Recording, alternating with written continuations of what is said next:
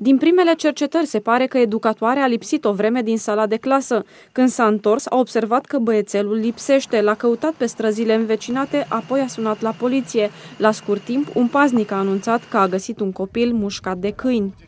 Un uh, pasnic de la o firmă din localitate a sesizat uh, polițiștii cu privire la faptul că un băiețel în vârstă de șase ani a fost atacat de mai mulți câini. Părinții nu înțeleg cum de nimeni de la grădiniță nu a observat atâta timp că fiul lor lipsește. Între locul unde a fost găsit și grădiniță e o distanță destul de mare pentru un copil mic.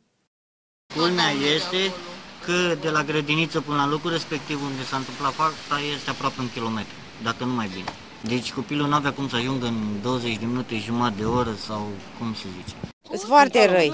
Nu putem să mergem pe aici, că vin până în sat. Medicii l-au operat imediat ce copilul a fost adus la spital. Este încă în stare instabilă din cauza rănilor.